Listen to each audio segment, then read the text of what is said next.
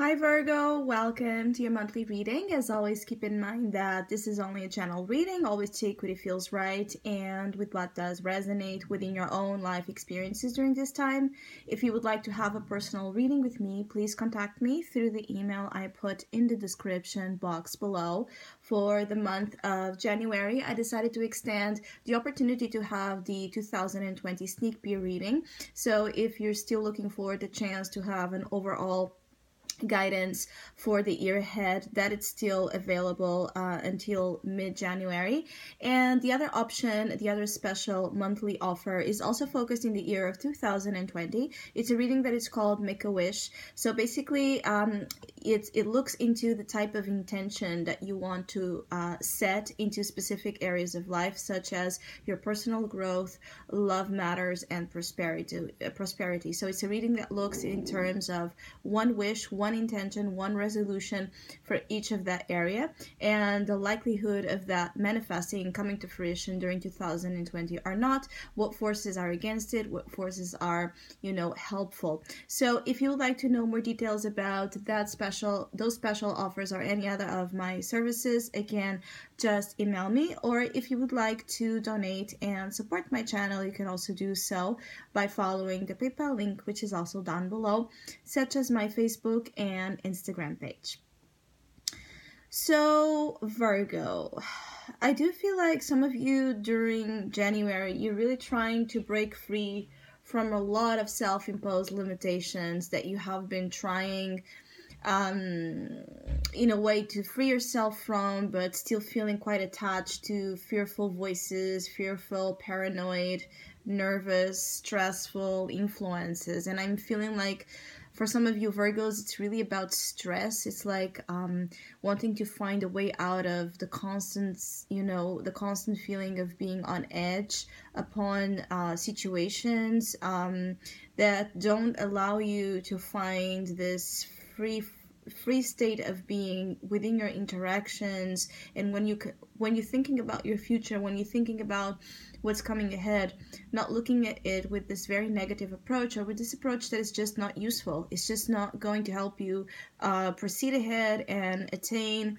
those goals you have in mind some of you are very goal oriented during January, but um, the way you pursue your goals is the thing. You have a lot of this internal restless restlessness this uh, internal agitation agitation yes that is all consuming because it feels like some of you have many ideas many things to say many things to put out into the world but you're having a hard time overcoming whatever fear okay whatever um you know um, insecurities as well you are immediately putting as you know something to stop you something to stop you from advancing something from stop uh, that stops you from meeting again those uh, those goals and those wishes. So it's almost like you're putting yourself in a position where you're unable to just meet your needs because you feel like you can't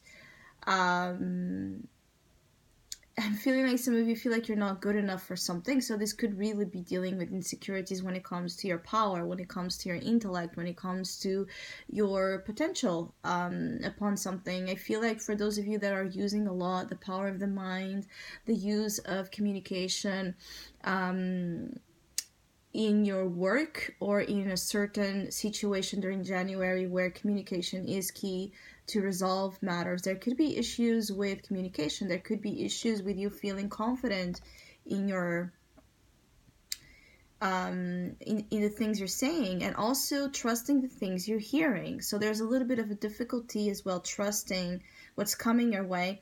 With the Eight of Wands and the Ace of uh, Swords, there's a lot of back and forth communication. So you can expect that January might be a fairly busy month when it comes to engaging in social um, social interactions. Okay, there might be a lot of informations, uh, you know, circling around Virgos. A lot of things you're hearing, a lot of things you're like absorbing and picking on. Your is almost like your um, you're really wired to information so it might get unnoticed for people around you but for you it won't get unnoticed. You it's like you're absorbing you know information from here from there from there from there and making you know um I feel like some of you are making assumptions or getting into conclusions by, you know, detecting what's wrong or what's right in what you're hearing. So definitely your throat chakra is really um, active as well during January. It might be the time for you to just say it, to just declare um, certain truths, okay, or come to a point where you acknowledge that something is not working for you and make that final cut.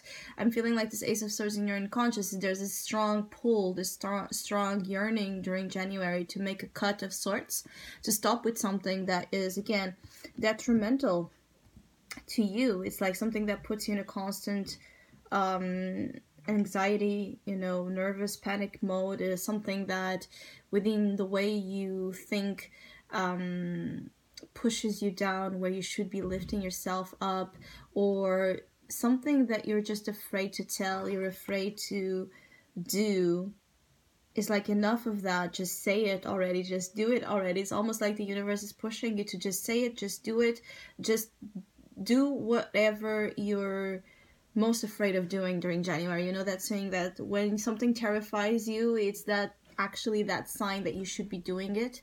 It's that feeling of some of you might be both excited and terrified at the same time about something that you're considering doing or something an opportunity that might come about during um, January. And you know, the feeling here is just to go for it. I feel like the majority of you are really called to go for it, particularly if it's something that lifts your spirit up, if it's something that is stimulating, if it's some something that awake is awakening some passion um, in your spirit, if it's something that makes you laugh, if it's something that just makes you feel good, something that feels like you're where you're able to fight off again your your insecurities, your inhibitions. There's a lot of um, inhibitions with you, Virgo, that shouldn't be a part of the picture anymore. Like things you're holding on to when it comes to just living life and enjoying yourself uh, freely, uh, without without so much, you know, painful discrimination all the time. Like every single thing you're doing and saying goes through this analysis mode, goes through this filter that is very harsh because you're constantly, you know, criticizing in a way the way you are acting. So you're not being natural in your interactions. You're not just living things for the sake of living them. You're always thinking about what it means if you should have done something better if you should said something differently. So there's a big stop with it. Something needs to stop, Virgo, when it comes to you just not being free to do things the way you want to do. And I feel like this has been also, um, this is uh, something that also um, puts you in a spin when it comes to just not, you know, accepting uh, what life tries to bring into your orbit. It's almost like there's new beginnings around you and january might bring here some new beginnings and new opportunities to start fresh to start something to do something differently. Um, and it's like circling around virgo energy but uh, there's a denial there's a refusal to completely let that energy and experience in because you don't know how to just jump into it. You, just, you don't know how to invite something that has not been through that processing, that filter of analysis that scrutinizes every single bit of an experience or of a person, of something. And it shuts down, okay, um, opportunities to come in and bring you better. So it's almost like some of you Virgos have been uh, keeping yourselves from embracing again your destiny, your future, your um, life chances that come about unexpectedly, where we just need to adapt and see how it is going to go. It's like you before you it's like your curious spirit you know before you even let the curiosity you know guide you to experiment something or see what something is about you refuse it and for virgos that do this for virgos that are connecting with this message january might be an important month where something is so attractive something is so alluring that you can't just easily push it off, right? Put it to the side. And you're going to be in this conflict of sorts within your mind where a part of you wants to keep, rep, uh, you know, uh, wants to keep um, itself repeating this uh, bullshit. It wants to keep repeating all the things that, you know, put you in this minima, minimal, you know, energy of just being stuck, being constantly afraid of life, of people, or another side of you that wants to be cutting through this energy, being strong, being uh, sure of what it wants and going for it. And everything is a risk. There's that feeling of risk taking, okay? Some of you are afraid, obviously, of the risks that you might be considering taking, or the risk of what some some situation might be. Um, the risk of uh, the risk involved within a particular situation some of you might be getting yourselves caught in um, during january it's like you're afraid of what's the results okay the outcomes um, it could be that for some of you virgos this is something that already started to happen in december and you're now you're panicking with the outcome. Like you what waiting for the outcome what the outcome will be and really afraid of not being the best one or not receiving you know um, the rewards that you feel like or you hope that you would be receiving when it comes to something you attempt some sort of attempt some of you try to do. So for those of you that have tried to do something that's that was a little bit out of your comfort zone and you're now on this waiting phase to see how is that going to uh, go um, the waiting can be really causing you stress and anxiety. Just watch for those levels of anxiety because I feel like in January they can be particularly high. I also feel like for some of you, friends um, and your soul tribe, and you know, again, social interactions might be important. It could be that if this is not about you, you're seeing that there's a lot of uh, hyper. hyper um you know activity concerning your social circles and so sometimes this could be also all consuming for some of you virgos like feeling like you're constantly needed or your friends are always reaching out and you don't you know have a moment where your phone um, you know doesn't have a message or a call coming in or an email or you could be feeling like just people out there need you more than what you're used to or the people are looking for you more than what you are used to, particularly again for Virgos that have been, you know, trying to uh, be more in the quiet, be more in the lonely, be more in the Five of Pentacles vibe, and the Nine of Swords, like let, let, let me be with my own shadow, let me be with my own demons, let me be with my own things. And for those Virgos that have been too long in that energy, again, and in December you had a particular um, um, similar message. It's like for those of you that have been under this type of influence and you have been overextending your energy in the shadow, you know you have all of this uh, energy of action and communication so strong directed to you because it's time to pull you out of that rut. It's time to pull you out of that hole, dark hole you have been resting in. It's like time to move, time to speak, time to do, time to create, time to love, time to relate. 2020 for Virgos is about doing things that you have not been doing for a long time. It's about, you know, taking that step that extra mile going to the extra mile going to you know um unfamiliar territory of sorts, doing things that um, fight against your your your temptation to settle, your temptation to just be where you are uh, in stagnation, your temptation to just be, uh, you know, sp- spending 12 months of a year just thinking about things and not doing anything about it. So there's that feeling of being pushed out of your comfort zone at times, in particular in January, because it's to set certain things in motion that without that type of discomfort, some of you Virgos wouldn't do, or you wouldn't, um, you wouldn't even see.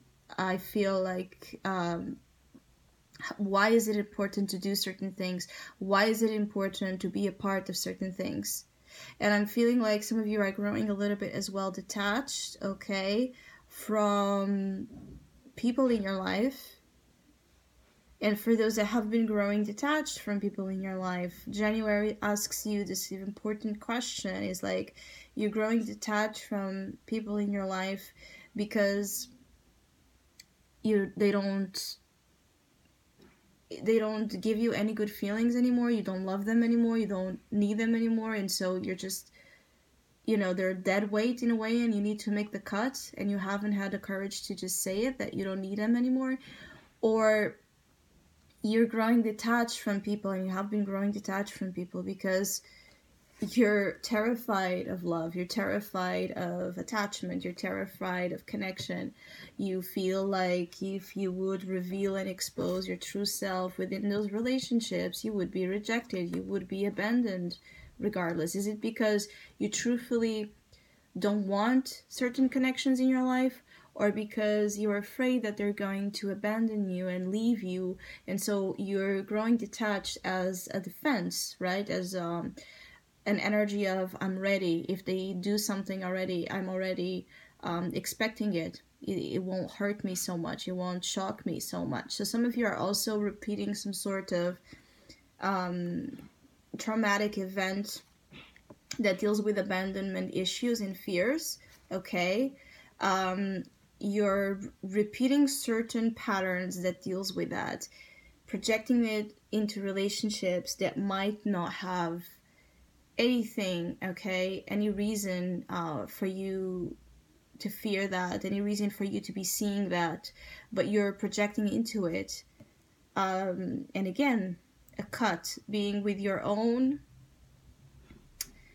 being with your own excuses, okay, to not do certain things that need to be done, or a cut in terms of, you know, reaping certain bandages, open doors, opening windows, letting your life breathe, okay, and the air circulate and take away what is not needed uh, and bring this type of freshness to closed spaces in your life.